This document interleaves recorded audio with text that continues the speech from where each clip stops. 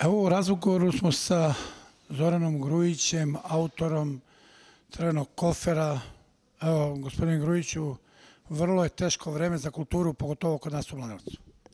Pa jeste, u gradu Mladenovcu ima jako talentovanog sveta i mladog i starog, samo što je vrlo teško vreme za kulturu, a što ne mora da znači da će tako i da ostane. Znači, mi moramo ovde, mladenočini, da se potrudimo da kulturu podignu na viši nivo. Ja verujem ovaj grad, kao što rekao, ima jako, jako talentovanih mladih ljudi i pisaca i vejara i slikara koji jednostavno ne mogu da dođu do izražaja u ovoj našoj sredini, nažalost.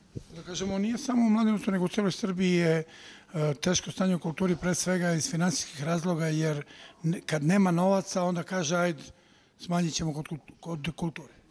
E, slažem se da i to jeste problem, ali mi ne možemo samo na to da se obaziramo, znači mora entuzijazam, mora amaterizam da se, e, da se fokusiramo na te mlade ljude i mora da postoji jedan određen entuzijazam. Znači, i kad vas primete, bit će i novac, ja verujem.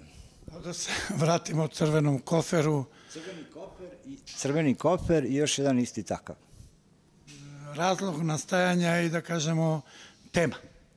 E, tema je ukratko, to, je, to su doživi jednog turističkog vodiča. E, prvi put po piscu Miromu Petroviću e, se susrećemo uopšte u književnosti sa takvom temom, da neko obrađuje doživlje turističkog vodiča, ali to, nije, to nisu anegdote, to nije putopisi, to je pravi roman sa dosta humora, i faktički svaki čitalac će moći da putuje sa tom knjigom u različite zemlje sveta.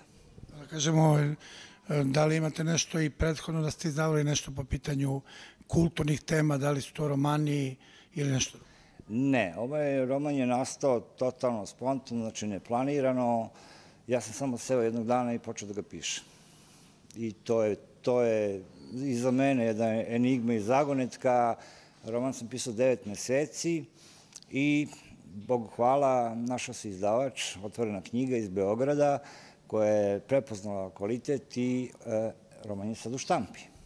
Da kažemo na ovaj način, time što ovo razgovaramo, možemo da damo podršku malo ovim našim, pre svega mladim naraštajima kada je u pitanju kultura u Mladenovcu. Pa kao što sam rekao malo pre, oni moraju prvo da veruju u sebe i evo moj primer može da bude rečit i da ja jednostavno nikad nisam planirao da napišem knjigu, tačno je da čitam, ali nikad nisam planirao da napišem knjigu. Eto, knjiga se desila iz prostog razloga što morate verovati malo u sebe. Znate, prvo morate da verujete u sebe, pa će onda verovati drugi u vas. To tako ide. Drugačije ne možete skrenuti pašnje, to je to.